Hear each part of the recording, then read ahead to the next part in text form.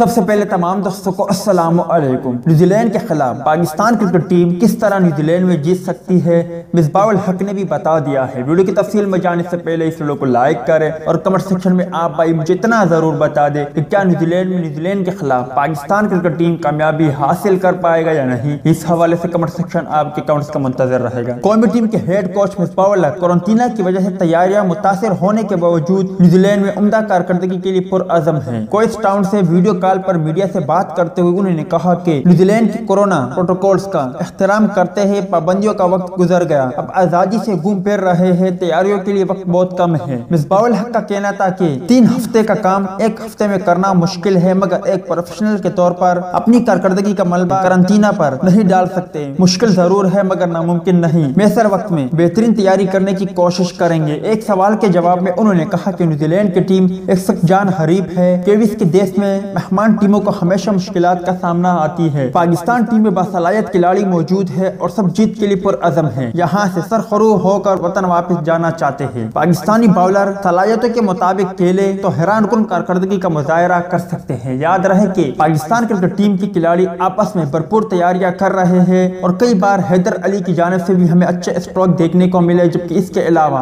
अब्दुल्ला शफीक, बाबर आज़म, मोहम्मद हफीज, शानशाह अफरीदी, बहाब रियाज की जानब से भी हमें शानदार परफॉर्मेंस का मुजाहरा देखने को मिला है, जिससे वाजा होता है कि न्यूजीलैंड के खिलाफ Pakistan cricket team T twenty cricket में यकीनन कामयाबी हासिल कर सकती है। आप भाइयों को क्या लगता है, इस हवाले से कमेंट सेक्शन में अपनी ओपिनियन शेयर ज़रूर करें। मिलते हैं किसी नेक्स्ट वीडियो में, तब तक के लिए इजाज़त दीजिए, अल्लाह हाफिज।